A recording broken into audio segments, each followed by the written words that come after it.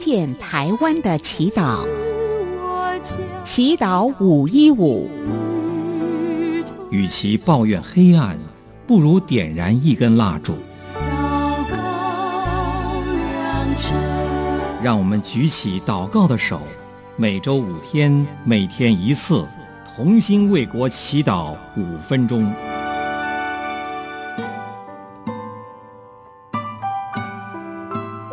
各位亲爱的弟兄姐妹，我是罗东长老教会王荣信牧师。今天很高兴受邀请来这里，要特别为了宜兰县当中有许多的监狱，在监狱里面有许多的受刑人。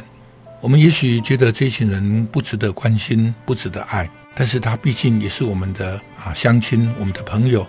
我们要恳求主，要帮助扶持这些所有受刑的人。特别，我们也为了监狱的这些所有的啊工作人员来祷告。他们啊，用心的在管理，来教化这些受刑人，让他们能够得着更大的帮助。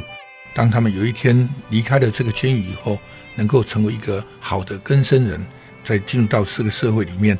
成为社会的帮助。特别，我们也要为啊这些受刑人的家属来祷告，也让这些家属在他们亲人犯错的时候，仍然能够继续接纳他们，鼓励他们。让他们能够啊有一个新生的这个机会，所以这个是我们特别为了监狱的施工要来祷告，主我们的上帝，我们再一次恳求你与我们同在。我们真的是一个有限的人，从开始我们就是一个有罪的人。也许有一些人，他们因着罪的缘故，他们犯了法，以至于他们必须在监狱里面来服刑。但是这一群人仍然是你所爱的人，他们也是你所创造，因着爱的缘故，你期待他们好像浪子一样能够回头。主，我们特别为这些受刑的每一位同胞们，或男或女，或老或少，主啊，求你给他们一个机会，在受刑的当中，能够接受好的管理、好的训练、好的调整，让他们有一天离开了监狱以后，成为一个根生人，进入到社会里面，成为社会的帮助。所以，我们特别要为了这些在监狱里面所有的工作人员，让他们有更大的耐心，有更大的爱心，能够协助这些一时犯错的人，能够有机会重新开始。我们也特别为了受刑人的家属来祷告，主啊，家里面有人因着犯错而受刑，这对他们来讲是很大的煎熬。主赐给他们有信心，有更大的爱，能够接纳他们的亲人，让他们有重生的机会。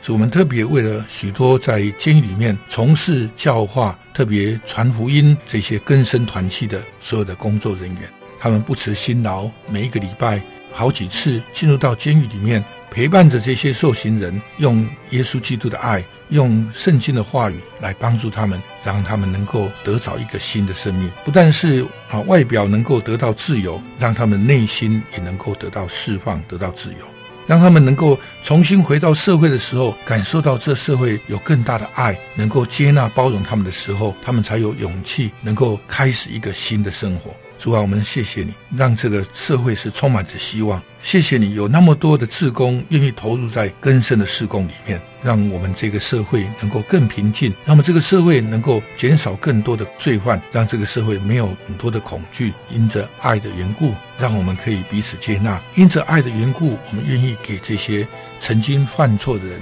有一个新生的机会。主，谢谢你，让我们这个社会充满着爱，充满着希望。让这些所有的受刑人因着根深的事工，因着许多的人的帮助，他们可以看见希望，能够看见未来。谢谢你，我们为了这些根深的事工，为了监狱的事工来献上祷告，求主你赐给我们有信心、有爱心、有力量、有盼望，让我们可以勇敢的继续向前行。谢谢你，我们再一次仰望、交托、祷告，都是奉主耶稣基督的圣名。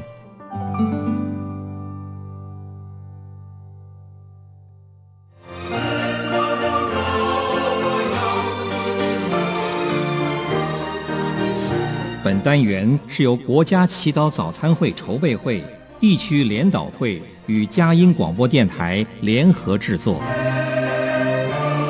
请加入祈祷五一五行列，每天同心为国祈祷与祝福。